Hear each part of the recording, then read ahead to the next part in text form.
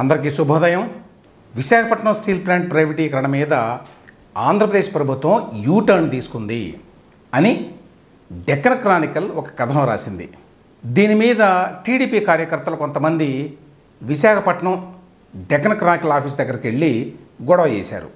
ఇది పత్రికా స్వేచ్ఛకి భంగం అని చెప్పి విను వెంటనే అటు డీసీ వాళ్ళు ఇటు వైసీపీ వాళ్ళు పెద్ద ఎత్తున ఖండించారు. దాడి అంటే ఏం జరిగిందంటే డెక్కన్ క్రానికల్ ఆఫీస్ బయట ఉన్నటువంటి డిస్ప్లే బోర్డుని ఈ టీడీపీ కార్యకర్తలను చెప్పుకునేవాడు తగలబెట్టారు. ఆ ఆఫీస్ లోపల కూడా ఎవరు వెళ్ళలేదు. అయినా ఆ రకమైన స్పందన వల్ల ఎటువంటి ప్రయోజనం ఉండదు. డెక్కన్ క్రానికల్ రాసింది అబద్ధం అయితే ఎలా అబద్ధమో వివరించి చెప్పాలి.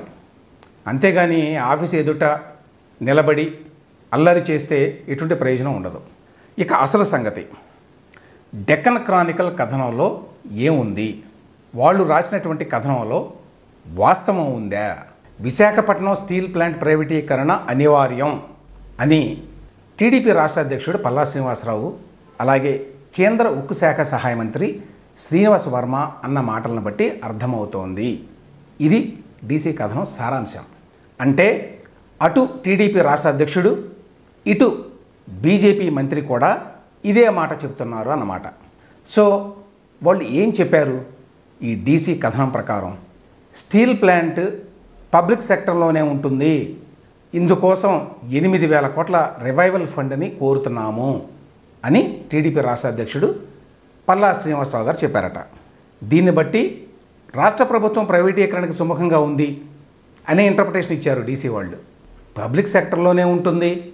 ఎనిమిది వేల కోట్ల రివైవల్ ఫండ్ను కోరుతున్నాం అని అంటే ప్రైవేటీకరణకి ఏపీ ప్రభుత్వం ఒప్పుకున్నది అని డెకన క్రానికల్ ఎలా నిర్ధారణకు వచ్చిందో విచిత్రంగా ఉంది. ఇక రెండో పాయింట్ కేంద్ర ఉక్కు శాఖ సహాయ మంత్రి చేసిన ప్రకటన అంటూ ఒక మాట చెప్పారు.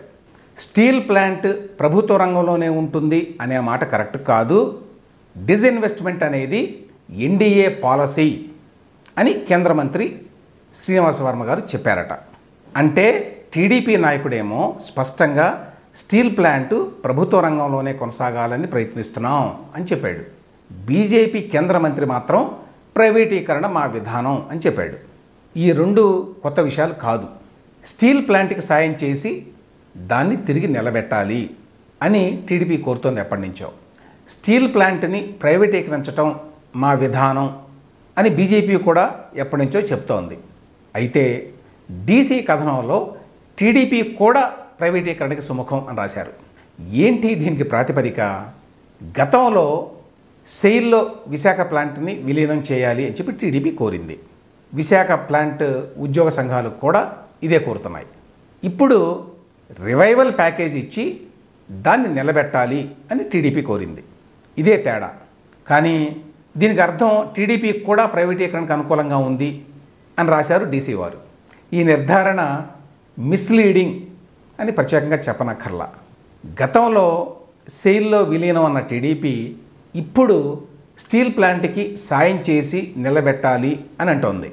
దీనికి అర్థం ప్రైవేటీకరణ అనే నిర్వచనం డీసీ వారు ఎలా ఇచ్చారో తెలియదు ఈ కథనంలో ఉన్నటువంటి విషయం ఇంతే. కానీ దీనికి ఇచ్చినటువంటి హెడ్లైన్ ఏంటో తెలుసా?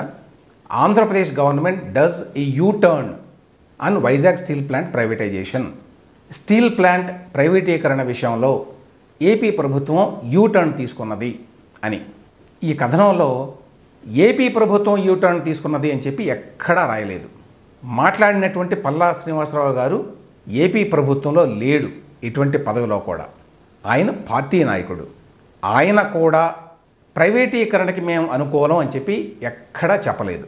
ఇక ఏపీ ప్రభుత్వం అధికారికంగా ఈ అంశం మీద మాట్లాడినట్టుగా ఎక్కడా లేదు. అయినా అటువంటి హెడ్లైన్ పెట్టారంటే వైసీపీకి ఆయుధం ఇవ్వటానికి టీడీపీని డిఫెన్స్లోకి నెట్టడానికి అని అనుకోవాలి. మీరు విశాఖ ప్లాంట్ని ప్రైవేటీకరించుకోండి మాకు అభ్యంతరం లేదు అని చెప్పి చంద్రబాబు నాయుడు గారు ఢిల్లీ పెద్దలకు చెప్పినట్టుగా తెలిసింది అని డీసీలో ఒక మాట వదిలారు.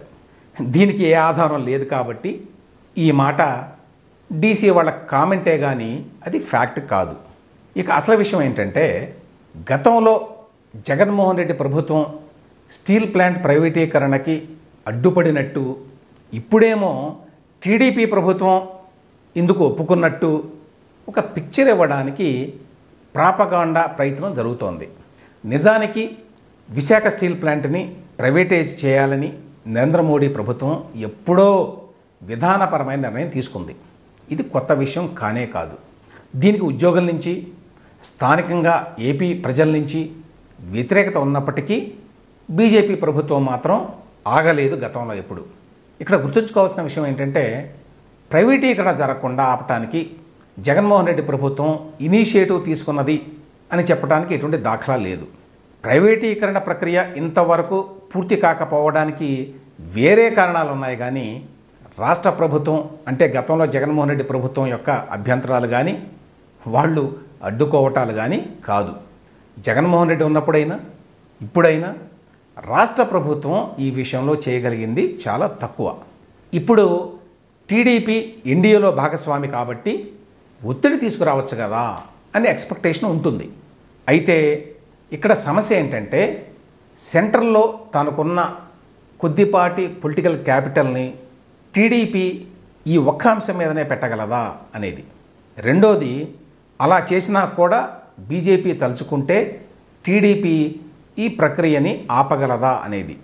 అయితే దీన్ని అవకాశంగా తీసుకొని వైసీపీ రాజకీయ లబ్ధి పొందటానికి ప్రయత్నిస్తుంది అనే విషయంలో ఎటువంటి సందేహం లేదు. ఆ మేరకి ఆల్రెడీ వైసీపీ ప్రచార యుద్ధం మొదలుపెట్టింది. వాళ్ళు తాజాగా చేసిన ట్వీట్ చూడండి. చంద్రబాబు వక్రబుద్ధిని బయటపెట్టిన మీడియాపై జేటీడీపీ దౌర్జన్యం. వైజాగ్ స్టీల్ ప్లాంట్ ప్రైవేటీకరణపై ఎన్సీబీఎన్ యూటర్న్ తీసుకొని గ్రీన్ సిగ్నల్ ఇచ్చేశాడని రాసిన డెక్కన్ క్రానికల్. నిజాలు రాసిన ఆ పత్రిక ఆఫీసుపై విశాఖపట్నంలో టీడీపీ నేతల దాడి అని ట్వీట్ చేసింది వైసీపీ. ఇందులో ఆశ్చర్యం ఏమీ లేదు. ఒక రాజకీయ పార్టీగా వచ్చిన అవకాశాన్ని వైసీపీ మాత్రం ఎందుకు వదులుకుంటుంది?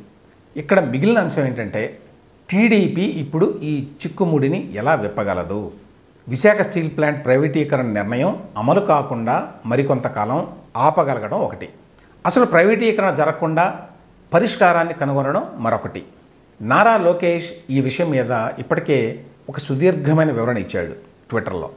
డీసీ ప్రచురించిన కథనం కట్టు కథ అని వైసీపీ ప్రోద్బలంతోనే ఈ కథ అల్లారు అని ఖండించాడు.